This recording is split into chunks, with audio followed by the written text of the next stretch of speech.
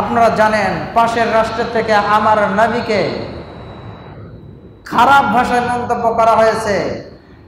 আমার নবীর কনিষ্ঠ স্ত্রী আম্মাজান আয়েশাকে কটু মন্তব্য করা হয়েছে। ইসলাম এমন একটি জীবন ব্যবস্থার নাম, যেখানে প্রশ্ন করলে এমন কোনো বিষয় নাই যে উত্তর পাওয়া যায় না। এখন জেগে থাকার সময়, কি থাকার সময় বলেন? এখন আর ঘুমানোর সময় না। কারণ মুসলিম বিশ্ব জেগে উঠেছে।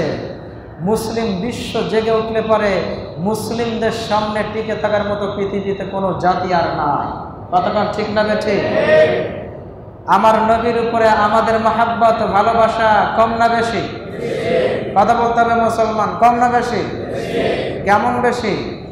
আমার আপনার জীবন, টাকা, পয়সা দান সম্পদ, নিজের সন্তান, সন্তানাদির সব কিছুর থেকে আমার নবীর মাহাব্বত আমাদের কাছে বেশি না কম। মর্যাদা বেশি না কম। আমার সেই নবীকে নিয়ে, আমার নবীর স্ত্রী আমাদেরকে, যাদের সম্পর্কে আল্লাহ বলেছেন, তোমাদের মা, তাদের সম্পর্কে নিয়ে যদি কোনো কাফে কোনো বেঈমান কটু মন্তব্য করে বিশ্বের মুসলমান কখনো বসে থাকতে পারে? পারে কি? পারে না। আপনারা জানেন, পাশের রাষ্ট্রের থেকে আমার নবীকে খারাপ ভাষায় মন্তব্য করা হয়েছে। আমার নবীর কনিষ্ঠ স্ত্রী আম্মাজান আয়েশাকে কটু মন্তব্য করা হয়েছে, যার কারণে মুসলিম বিশ্ব জেগে উঠেছে, ঠিক কিনা?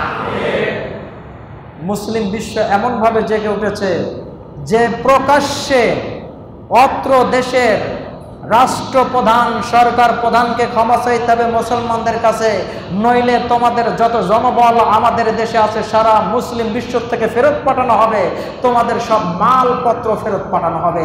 তোমাদের কোনো মালপত্র মুসলিম বিশ্বে বিক্রি করা হবে? আলহামদুলিল্লাহ বলবেন না? এই শুধুমাত্র সারাদিন চেঁচায়ে পেঁচায়ে যা না করা যায় বেরেন্দে বুদ্ধি দিয়ে তার থেকে অনেক বেশি কিছু করা যায়। ঠিক না তারা আজকে বেরেন্দে কাজ করছে। তারা শুধুমাত্র এতটুকু বিবৃতি দিয়েছে, ক্ষমা চাইতে হবে। আমার নবীর বিরুদ্ধে বলবে, আর আমরা সহ্য করব। এটা কখনো হতে পারে? হতে পারে? বাস তারা বিবৃতি দিয়েছে, এখন কিন্তু যত বড় ক্ষমতাধারী তুমি হও না কেন, যাদের টাকায় তোমার রাষ্ট্র চলে, তাদের কাছে এখন তারা মাথা নত করতে বাধ্য হয়েছে। আলহামদুলিল্লাহ বলে।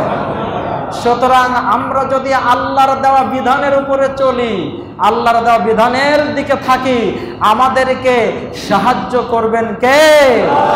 তোমরা যা জানো না, তা তোমরা জেনে নাও। আল্লাহ সুবাহ এই বলেছেন জিক্রি ইনকুম তা